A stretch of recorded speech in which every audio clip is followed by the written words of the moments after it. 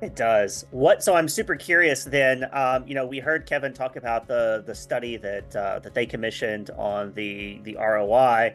What's EECO seen in terms of ROI? What? How is life different for you now that you've adopted TradeCentric Oro? You've used Xngage to do it. What's changed?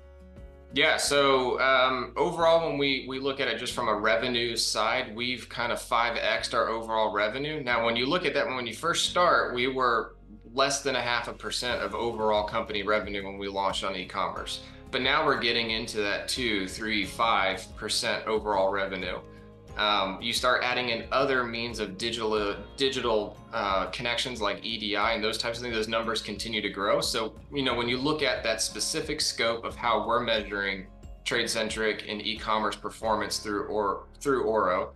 Um, we have seen significant growth there in user adoption and the amount of customers that are uh, creating those profiles and building it. But specifically for TradeCentric, um, we are seeing uh, getting those customers onboarded has opened a lot of doors and communications for us to increase uh, our ship to counts with customers to allow us to scale to a higher level of conversation than we have before to get closer to the buying side.